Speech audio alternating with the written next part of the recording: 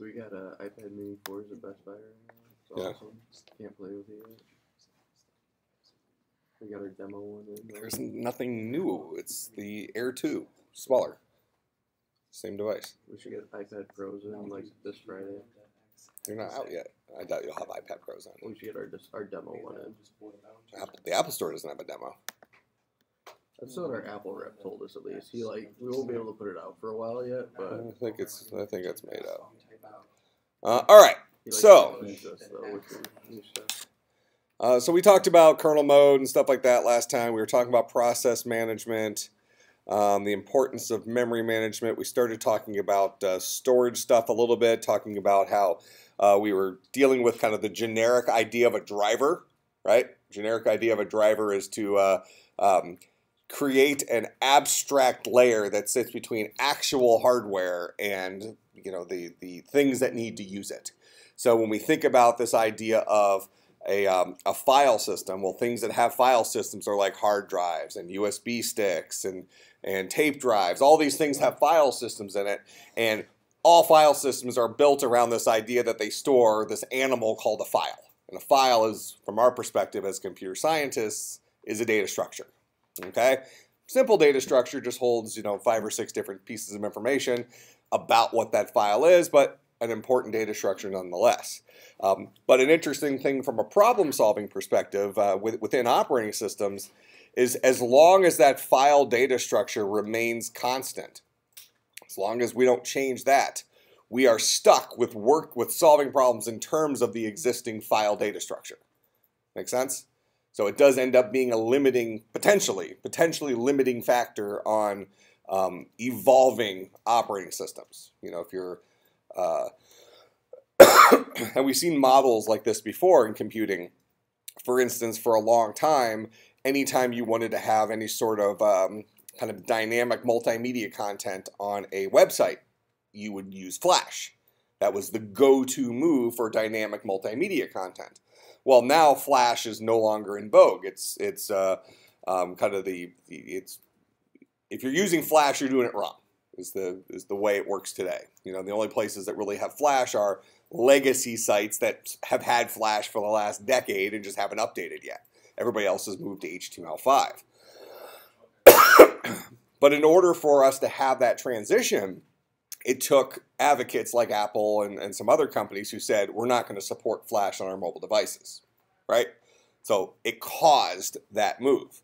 Now, obviously, we can look at Flash and say it was an old technology that needed to die you know, let's just say bad on battery life, certainly has features in it that could be replaced with newer, modern uh, ways of doing things. Uh, so to, to that end, it made sense. You know, but at some point, are we going to get to the, the, the place where we say, well, you know what, maybe a file uh, isn't good enough anymore. Maybe we should actually perceive us storing things differently. Something like that. Um, and it becomes very interesting because when we start thinking about our um, uh, future file systems and and uh, you know a file system needs to manage what's on a hard drive. Let's just use that as our initial example, right? Okay, well, well, uh, what as a user, what do we look for in a hard drive?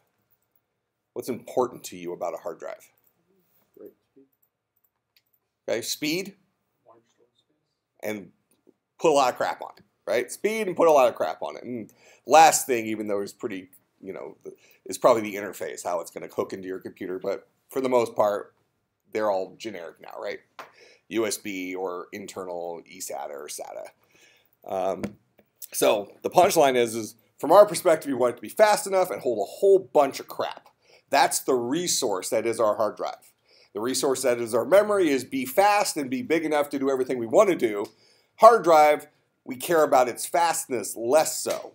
You know, some of us, any of you who are uh, maybe built gaming machines, have a solid state drive as your boot drive, and then a large, who cares how fast this is drive for everything else. Okay, what's the rationale for that? Why, why, why have that giant mechanical drive in there um, that to store your applications on it and stuff like that, but have your operating system on the fast drive? Because I have a thousand gigs of games and my SSD was is like 256 gigabytes. Okay. It just wouldn't work out.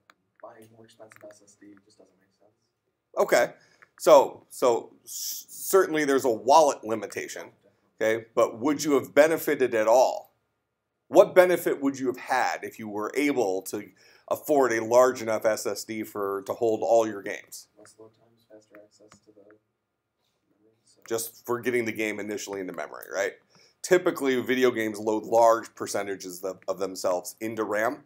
So during game time, you're not having to do that swapping problem we talked about before. Uh, typically, we're not multitasking video games. So typically, you wouldn't have like Battlefield running on a, in a window on half your screen while you're writing a term paper. Um, you know, so like like uh, aggressive games like that.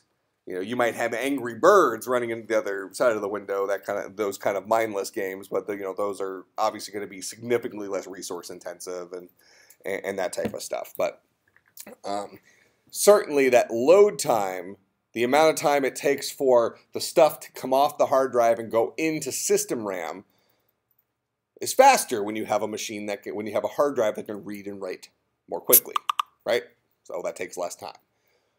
But the trade-off is I can spend more money and get half of the capacity, or I can spend, uh, you know, let's let's say you can spend twice the money and get half the capacity, or you can spend half the money and get twice the capacity. So you can decide what's most important. So a lot of folks end up doing um, their operating system on the solid state drive because your operating system is constantly being having aspects of it loaded in and loaded out of memory and things like that. So having that not be a uh, bottleneck in the performance of your computer is beneficial. Plus, your machine will boot faster, but let's call it marginally, marginally faster. Um, but that's kind of the cool kid thing to do now, right? Have a small solid state drive that has the stuff that you use very, very often that'll fit on there. Um, and a lot of folks, what they'll do is when they have uh, kind of their game of the month that they're playing, they'll just put that game on that hard drive. So any movement in and out of memory is fast on that particular hard drive. But at the end of the day, it all has to do with that bus that we talked about in here. The speed at which stuff can leave one device, one resource, and enter into another resource. And in this case, it's that all important memory resource for us. Okay? Um, but getting back to what I was saying before, is there a problem with our file data structure? At some point, we need to hit a wall where hard drives aren't going to get any bigger. At this point, the wall has more to do with uh, mechanical failure and you know the physical size of the device, right? We have this idea of a three and a half inch hard drive, right? The three three and a half inch hard drive has not just a, a, a width uh, a kind of standard, it also has the height standard. It won't fit in the slots it was designated for if they make it too big. So now we're stuck where we can only fit so much crap inside something that's you know that tall. All right. Um, oh, you want a 5,000 terabyte drive? No problem. You know, this looks like one of the later Harry Potter books, but you know, here you here you go. There's your gigantic hard drive. Um, now, what we are going to start seeing, likely, um, as we have a bigger and bigger need for storage, is you might see some custom type storage devices, custom hard, hard, hard drives that are meant to be external only, come with their own housing, uh, that don't rely on that standard size. So we might see a move away from standard and then a move back towards a new standard. Okay, we need to get outside of that comfort zone because right now we're starting to hit a physical limitation of we can't put more platters on the hard drives to make them bigger without, again, too much heat, higher rate of failure, all these other things, right? power requirement. Um, The external ones, some of them need to be plugged in. Uh, some of them are just portable. Th- that's the difference that there is is whether or not it is a uh, two and a half inch drive or a um, three and a half inch drive. The three and a half inch drives all require external power. The the USB port does, doesn't provide enough. Okay. Where the two and a half inch ones that are made for laptops, uh, those have a lower power requirement, and USB has enough to to power it. Um, usually, those are also slower hard drives, but not because they're innately slower, but because you probably are they making external solid state yet? It's kind of a external solid state unless it's eSATA, it kind of doesn't make sense. It's like we're gonna put a really, really, really fast hard drive, and then we're gonna we're gonna hook up one of those the tin cans with a string between it to your computer. That's USB, by the way. that's uh, that's gonna be your speed. So, um, but certainly eSATA could make sense for uh, uh, external uh, solid state. Yep. How do you run three and a half inch drives in your in your docks then if it needs external power? In your docks. Well, in your if you You have have it actually hooked up to your power supply. Oh, it's hooked up to your power supply of your computer. So it's as if it's got. Yeah, I mean, when you buy, when you build a computer, you get like you know, you know what's the, you know, are they probably the common size now for a gaming machine is like a kilowatt power supply? Is that about right? Sure. 500 watts, 750 kilowatt, 750 sounds right. I mean, I'm surprised actually. I mean, I would say two or three years ago, the cool kids did the the, the one kilowatt. Just sounds cooler, right? Something like that. But you know, that guy's able to power a whole bunch of devices. You know, so you have a bunch of cables in there that plug into it. So it is getting its external. You didn't miss a quiz, but I did get your email. So I would have excused you anyways. Actually, I only was it a reasonable excuse? I didn't even look. I just saw you emailed me. Just assumed it must have been a reasonable excuse. Anybody who collects tears gets a free pass. All right. Oh, did you guys see my artwork on uh, Facebook? My wife took me to a painting class last night. So I made a, a, a painting of. Uh, there was a, an artist up there who was teaching us how to draw trees and, and crap. So I, I drew a uh, a ferret that's juggling fire. and mine had a skeleton. It was very abstract art. I had some trees too. But see, they, they, they screwed up because they tell you they, they're telling you how to measure like the distance between your trees. Like like put four fingers there. Well, my wife's four fingers is like the width of one of my fingers. Because my wife, I have a pocket wife. I don't have to buy a second plane t- ticket. I can just put her in my overhead until takeoff. Um, um, but yeah, so I couldn't fit all the trees on my because she said four fingers. So I only I was supposed to have six trees. I only got four trees. And then the width of the trees was supposed to be two fingers. Well, that worked out well. Had a bigger fort. That's right. So I had monster trees with a fire juggling ferret. You should check it out on Facebook. It was epic. What's up? Okay, so with all this storage stuff, I mean, I've got solid state and then a larger drive, but couldn't you just add three or four or three terabyte storage drives and be okay on a regular computer if you really have to store that much? Okay, so reasonable question. So now you've added. So now let's say you have, uh, let's say you have three two terabyte drives. Okay, and you're going to run these as separate drives. So now you got to decide. Okay, well, what am I going to put on one drive? What am I going to put on another drive? You have to manage that yourself, your own organization. Now you could set it up as a RAID, uh, where you're going to allow either hardware or software RAID to determine what drive something goes on. Um, you know, if you do a concatenation RAID to give yourself six, that's RAID one. To give your, well, no, it's RAID zero. To get yourself uh, six gigabytes, six terabytes of, uh, of space, um, you are now at the mercy of how it decides it should put that stuff on the different drives. And now you have three resources that that uh, RAID controller is having to manage. Three different read-write heads. Um, so, I mean, the problem does get more complex. So you can say, well, why not have three different drives? Will three different drives be better than one drive? In some ways, yes. In other ways, no. And there will be additional overhead. So three drives certainly won't give you three times the performance if you're writing three things at once.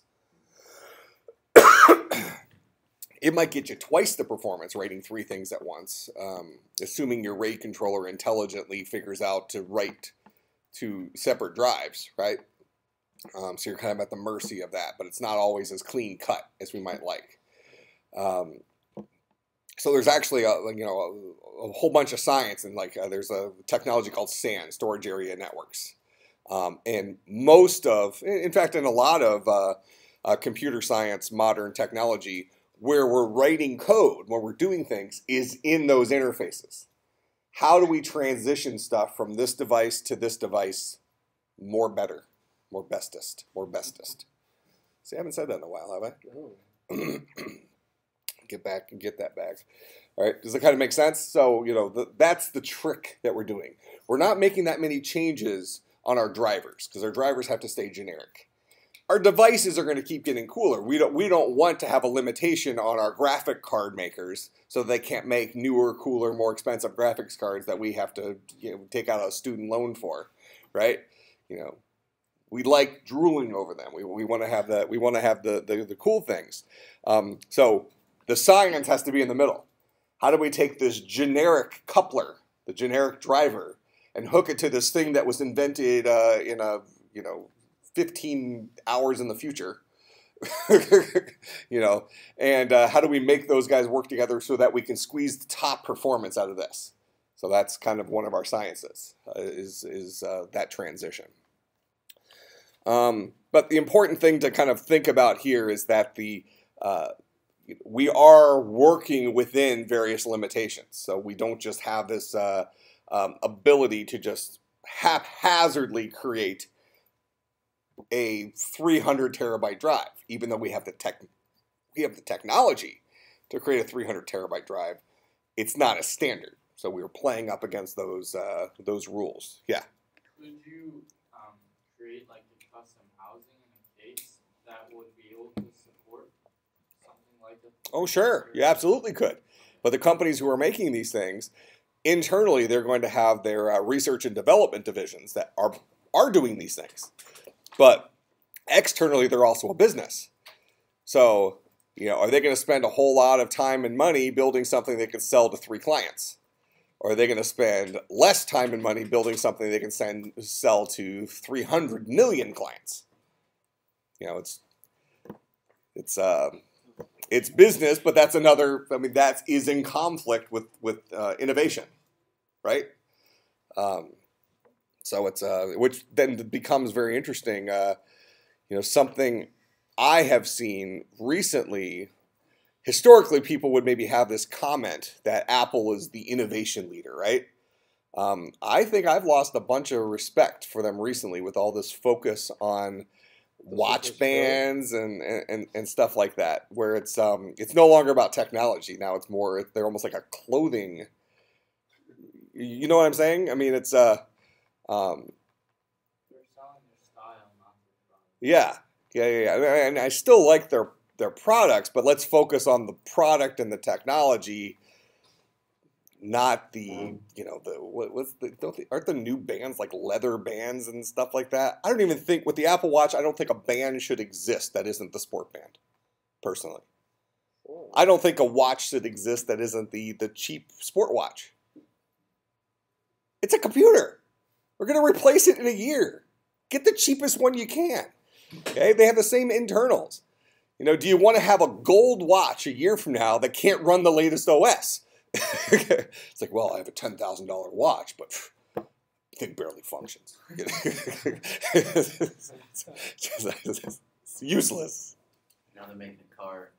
Yeah. So, I mean, those types of things, I like that stuff. I like the innovation side of things. As long as Apple doesn't get into the business of being, yeah, I mean, they're doing the, they're competing with Google, the oh, self-driving cars. So did Apple like pair up with Tesla for that, or I, there's all these rumors. I, Apple hasn't officially said they're doing cars, but there seems to be all sorts of evidence, whatever. So I'm all for that. I'm all for this whole self-driving car innovation stuff. I mean, that's that's really cool that we have big companies focusing on that problem. And even related to what we're talking about here, what's the problem? Right now, it seems like the limiting factor is the people who aren't in self-driving cars. Most of these accidents that are occurring with self-driving cars deal with the unpredictability of human beings where every if we all had all self-driving cars, we could just flip the switch and say we're all in self-driving cars. We probably have zero accidents or very few accidents really quick. But the fact that we are having a hybrid model, we have real people, real minds making decisions. I'm late for work. I need to be a little bit more aggressive. That light was still yellow, wasn't it? you know, th- those types of things I missed a, a, a computer, uh, you know, uh, it can't predict for that stuff. So it, we like having these big companies working on those hard problems. Um, so I totally like the fact Apple's doing that. What I don't want Apple to do is try to compete with Ford. You know, I don't think we need to have an Apple car unless it's doing something very, very, very special towards innovation, right? Yeah, I mean, you know, whatever, right? But then You know, I think we're fine. I mean, with our car man, I mean, this is how it should work. We don't want to put our car manufacturers out of business. They're good at what they do. So I think we want to think about having systems from either Google or Apple that ought, that need to be compatible with each other. You don't want to have accidents accidents because of an incompatibility. sorry, your car runs. Android, mine we, we had an, an OS incompatibility. They upgraded to uh, Car OS 4, and um, They there was a bug in the latest, uh, you know, Android Drive. that, that seems to be probably what the names of the OSs would be, right? Car OS and Android Drive, because it's an Android Wear for the, the watches. Um, you know, the, there's just an incompatibility in the communication protocol. Somebody dropped a curly brace on the JSON, and oh my gosh, it's all hell broke loose. um, there was children yeah, but the punchline is is that that's where those companies belong from an innovation perspective, right? Um, you know, and, and they need to be make sure their software is compatible with each other. We don't need to take Samsung out of the business of making memory and hard drives. Okay, we need to make better software to work with those equipment. We don't need to take Ford and Honda and Hyundai and you know all the Toyota. We don't need to take these car manufacturers out of building cars. That's what they're good at. We need to make better software on them that keeps people from getting killed. Right? Let's reduce the number of deaths deaths on the interstate and stuff like that. That's where technology innovation needs to be. Um, so we'll see if Apple starts designing. You know, well, you can get the latest Apple car with the, I don't know, the, the I don't know, German endangered bear skin, uh, you know, seats or something. It's We took a few points from Volkswagen on this one, so it's really efficient. Anybody that watches the news? it doesn't even have a steering wheel. Everything's swipe. So, you want to turn left? That's a gesture. Oh, the wrong gesture. wrong, wrong gesture. Whatever you do, don't pinch and squeeze. It is right. So um, yeah. So I don't know. I, I historically I've really liked I've really liked Apple from an innovation perspective, but I don't feel I feel like they're trying to play innovator today. They're not actually innovating. You, you kind of know what I'm saying. That's how you sell stuff, right?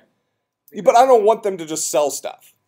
You know, so you know, it's uh I want them to make good stuff so that the other guys have to make good stuff. I mean, we live in a really awesome world techno- technologically having these two cool companies like Google and Apple who keep trying to one up each other.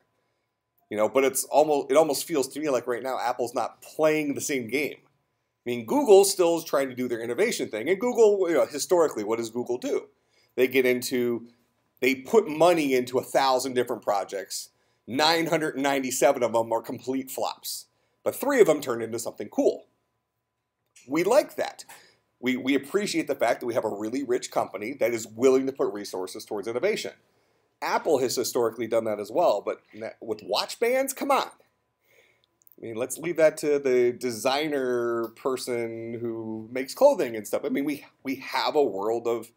Mean, I'm not a fashionista person, obviously, but I assume we have a world of very talented designers whose job it is to do that. Well, they paired I don't need Apple making that kind of crap. we want Apple making technology. On the latest leather bands, they just paired with a designer on it. They didn't make them. So why doesn't the designer just release the bands and say Apple Watch compatible?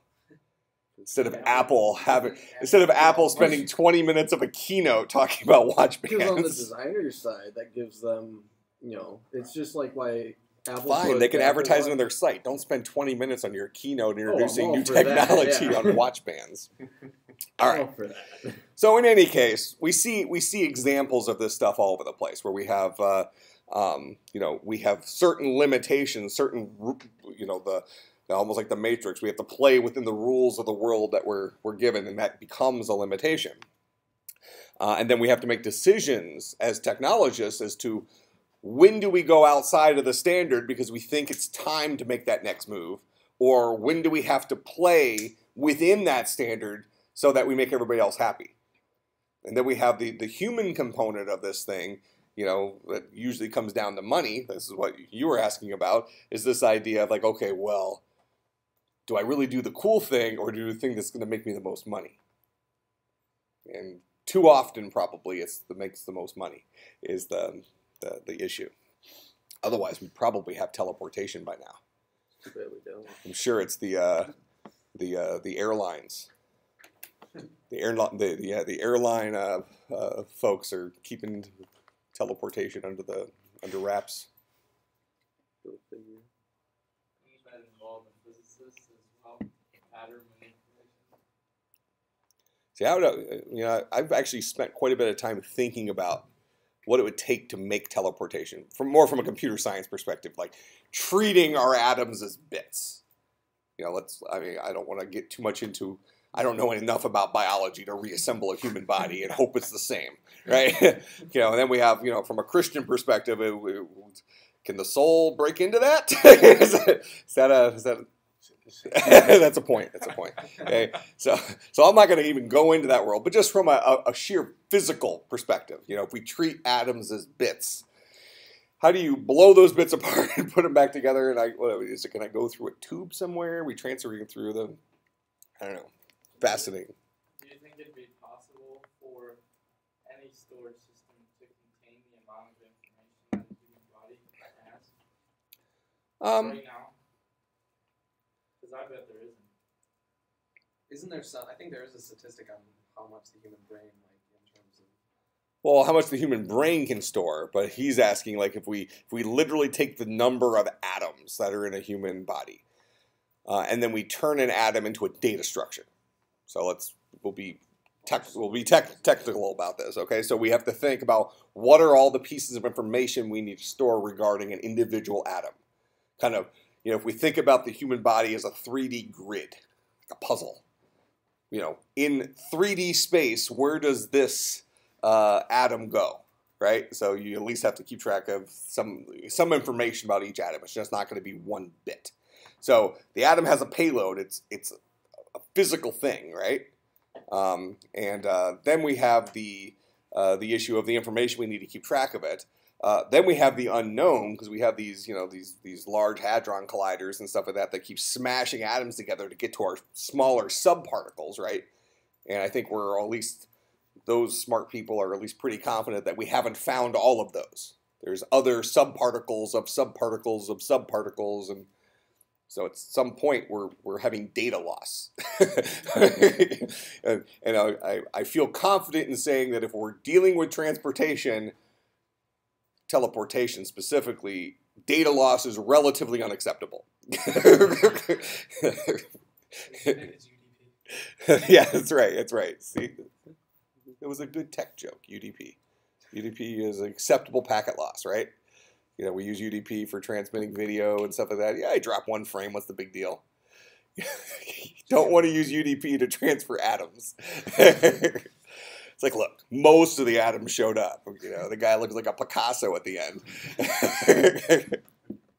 so, uh, but your point is, do we have, uh, um, you know, something that can that can uh, store everything about an atom? I don't think it's we're even capable of answering that because at the very least, I feel that atoms have a lot more to them than we suspect. So that means that the amount of stuff we need to store given mm-hmm. one atom is probably exponentially larger than we might expect it to be. So if I were guessing, then I probably agree with you. We probably don't have the space, but we also don't have the technology to break it down to its individual components. I tell you, those large hadron collider things are just fascinating to me. I mean, it- you know, it's it's like Neanderthal science, right? You know, boys and their toys. So, like, you know, what's the best way to look at what's in an atom? Well, we're gonna speed it up real fast. We're gonna smash them into each other. It's our equivalent of just like throwing rocks on the ground and watching them break apart. Except atoms are so tiny that we really just need to put them in a collision course with each other and then take a whole bunch of cameras and try to see what's happening when they smash into each other. Isn't that awesome? It's like the ultimate, I don't know, the ultimate video game or something like that. Smashing subatomic particles against each other at, you know, 99% the speed of light and watching what happens, what it blows up out of them. It's a little more boring when you actually, you know, it's like in the course of one thirty thousandth of a second that that occurred. I know, but that's why the cameras are so awesome. Like, look what we can see. And these colliders are, uh, you know, like like over, like underneath, like whole cities and stuff like that to give enough room to ramp up to to, to ramming speed, right? It's just awesome. Gotta have a lot of room. To And then with the with the uh, Large Hadron Collider, like what four or five years ago, what didn't wasn't there like a bug in something where they thought they may have opened up like a billion microscopic black holes or something like that that were going to suck the universe in? Man, imagine waking up and worrying about a bug in your software doing that. yeah, you got the one dude who's bumping into a couple of cars in a parking lot. You got another dude who's opening up black holes that are sucking up the planet. and then you have the guy who's not putting together people right in the transporter. That's what we're going to do. That's your future. You're going to be those people. They're going to go out and ruin lives, tear apart families, destroy universes. I'll take the last one. Destroy the universe. You know, then you had the, the, the theoretical physicists talking about how the black holes are, are so m- m- minuscule that we couldn't see them. So now you're wondering, like, well, maybe they're here and we don't even know it. They're sucking away reality one, you know, one micron at a time, and eventually we're going to start seeing like tears in the fabric of space. You can't see black holes anyways. It's gonna be awesome. What's this? You can't see black holes anyways. Well, but you can you can detect their existence by uh, looking at the edges where light's disappearing and stuff like that. All right. Um, same crap we talked about. Same crap we talked about. Um, we've already kind of talked about this moving stuff from disk to main memory and to cache back to the hardware you know to the hardware registers that whole transaction that something leaves a hard drive gets into memory ultimately gets number crunched by the cpu there's this life cycle that's happening in our operating systems that have all these managers and you know there to help us help us do it um, the IO subsystem, we, we talked at the high level about interrupts and things moving off the CPU, um, protection and security out the window. We don't like that. Microsoft Vista. We'd rather be we'd rather it be convenient or a computer crash half the time than be inconvenienced because you think we have a virus every three seconds. okay, so um, yeah, I mean security stuff obviously important, but it's that balance between keeping us secure and still letting us do what we want to do.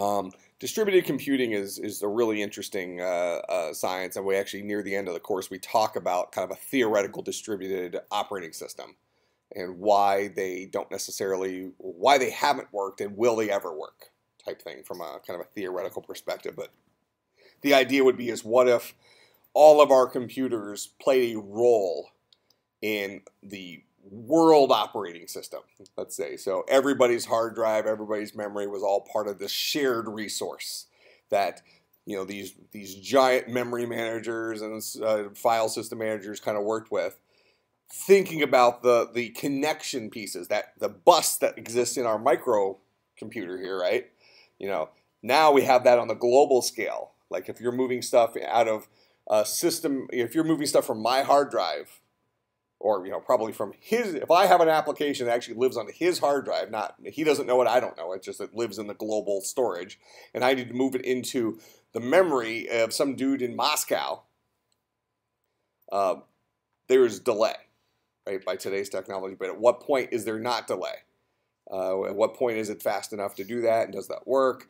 Um, from that perspective so distributing computing for distributed computing for a general application operating system seems to be there's problems with it. We'll go into a lot more detail. So how does that play into the internet? Well, internet becomes a bottleneck. You know, our, our internet is really, really good what it gives us access to, but it wouldn't be uh, what would be called a high.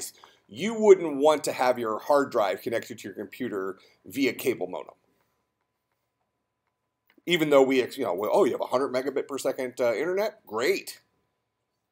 Well, that's only download, so we can move it from we can we can install stuff to our hard drive at up to 100 megabit per second. But you can only upload it to memory where it needs to be fast. Our load times, as you point out, at uh, let's let's call it five megabit per second. it's like it's been 45 minutes and uh, Angry Birds isn't done loading.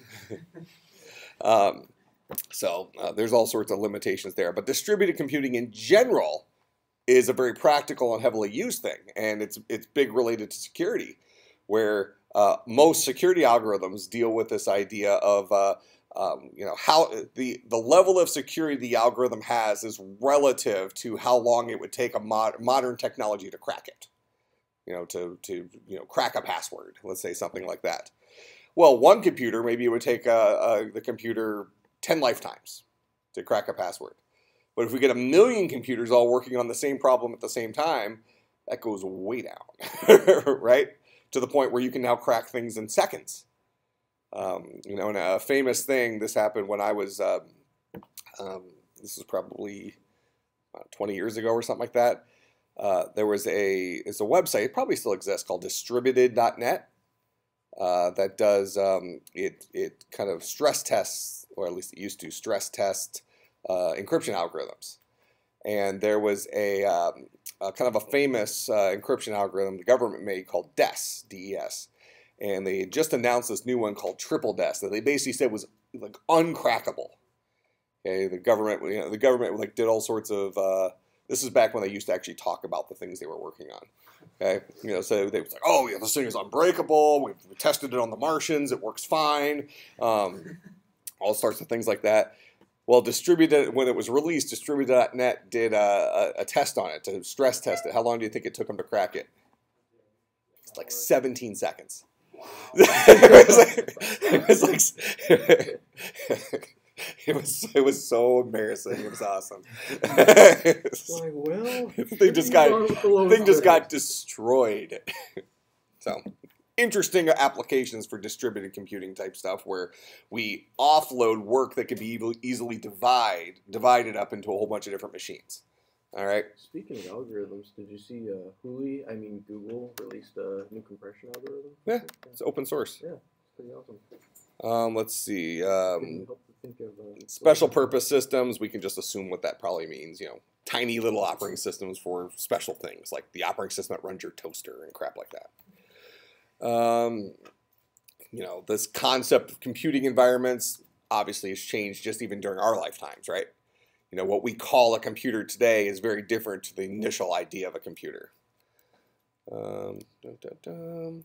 Uh, peer-to-peer computing, this is stuff that we use all the time today with like BitTorrents and, and, and things like that, where we're um, spreading the, the, the wealth of how data is moved. And the reason we're doing that is exactly the stuff we're talking about in here, where we have to manage these highways that are connecting our various resources to each other, and they can only move data so quickly.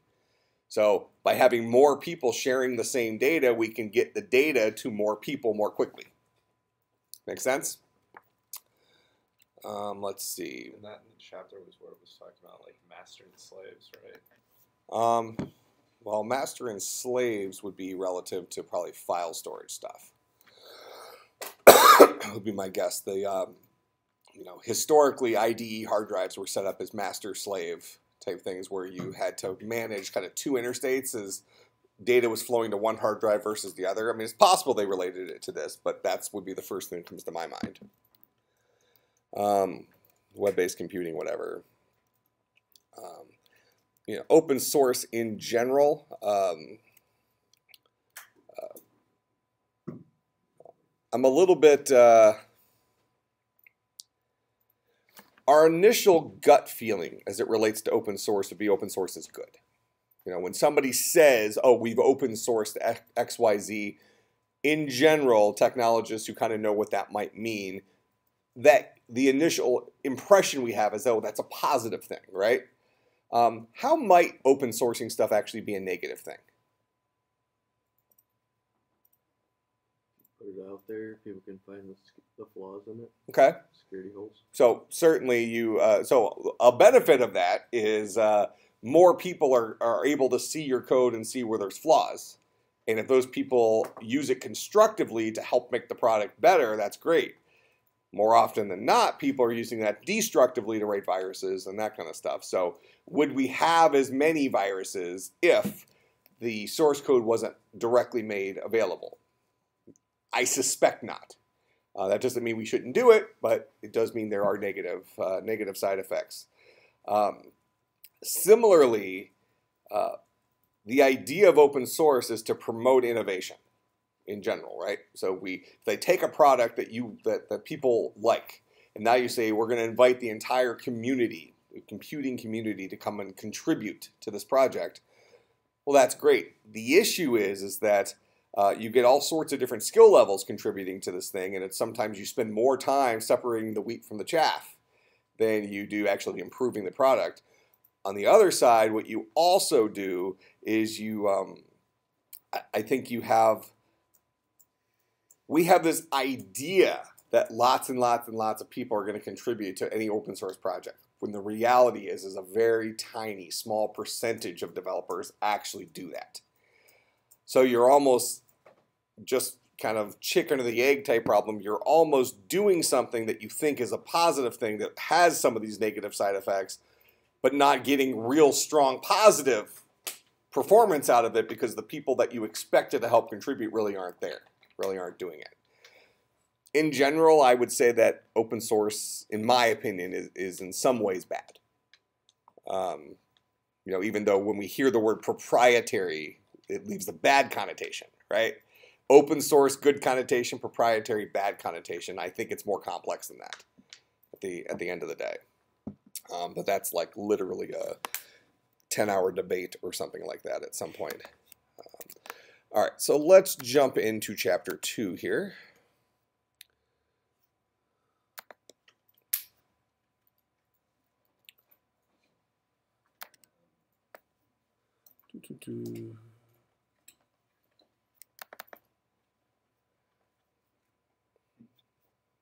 And we're done.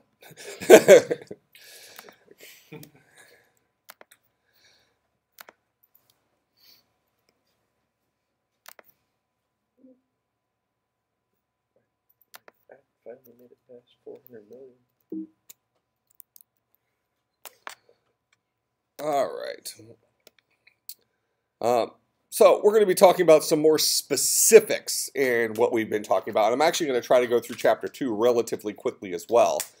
Um, so we're going to go one layer deeper into some of the things we've been talking about, and then we're going to start talking about specific. We actually start talking about specifics in here as well, but just kind of uh, dive in here.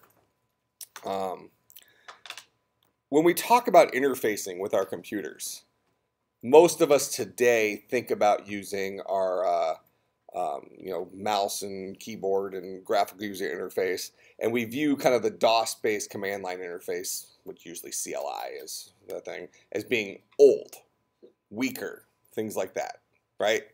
Um, realistically, there are things that we can do that are far more powerful on um, uh, the from the command line interface than you can in in a GUI. Uh, and let me give you kind of an example uh, that just happened over this past weekend. My my dad was trying to, so this is more of an IT type thing uh, and, and, a use for programming in IT. Uh, my dad was trying to empty his um, downloads folder on his Mac to his uh, uh trash, and he missed and ended up putting it all on his desktop. Now, my dad is one of those people that already keeps everything on his desktop hundreds and hundreds of files. Okay, and he's also one of those people that downloads, you know, atta- you know, attachments from all these emails that he's read, and probably hasn't emptied his downloads folder in let's call it five years. Oh, okay. So we can imagine thousands of files were dumped onto his desktop. So now it's a matter of separating the wheat from the chaff. We want to get these files ultimately in the trash but let's get them back into the downloads folder, separating what is now in the downloads folder to what is uh, in the uh, what is supposed to be on the desktop. Okay, now we have an issue. Uh, and this gets back to the file data structure and file systems in general. Most what are called POSIX, or most non-POSIX file systems, which we'll talk about uh, later. Just it's a standard. POSIX is a standard do not keep track of the birth date of a file. They keep track of the last modified date of the file. All right? It just so happens that Apple, uh, their OS, being a POSIX operating system, does actually keep track of the birth date in the file data structure. uh, which means that you can find out when that particular instance of that file was birthed in its current state, in its current place. But that piece of information is very difficult to get at. So if we kind of look at this real quick,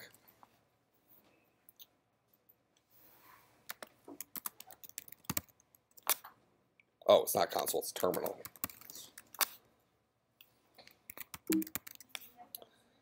Uh, let's just do, so let's just do a stat star on this. So here's a command line thing, and we have all of these files, all these pieces of information that are in here, and one of these guys gives the birth date. So one of these pieces of information gives the birth date. So now we need to somehow parse this information. So I kind of figured out that the, the birth date of this thing was about 9.52 a.m. Um, so anywhere between 9.50 and 9.54, since there were so many files, let's say, a.m. on that morning was any file that was birthed during that period of time was files that we needed to move back. All right, so we had to take the output of this command. So I, I took this command, I redirected that to like an input.txt file. So now I can go into input.txt and now I can edit this document. And then what I did is I wrote a program that read in from this document. Now we have to parse that document. Now the problem with parsing this document is it's not delimited in any sort of interesting way. So for instance, we have spaces inside of that data. So we can't parse this on spaces, right? Um, so I had to go back out here and instead of using a, um, and I know we're out of time here, but instead of using, uh, going directly to there, instead I took stat and I piped it into another command called awk and told it to print uh, like dollar sign 12 or something like that, which is like the, the, the 12th thing. So I just had to keep uh, piping sends the output of one command into the input of another command. So I kept piping these things, the piping these things, the piping these things that got into a, a format that was kind of massageable. Then I wrote a Java program that read in from that file and wrote out a whole bunch of move commands. Move this file name to the downloads directory. All right, and then I had to rewrite that program for a couple different special cases. So in the end, those are the types of things that you can apply kind of IT programming type stuff too. Uh, and where command line actually becomes very powerful because this idea of taking the output of one thing, sending it to the input of another, isn't something we really think about with graphical user interfaces. So don't necessarily think about command line as being weak. All right, I will see everybody on Friday. You'll probably have a homework assignment then. Yeah.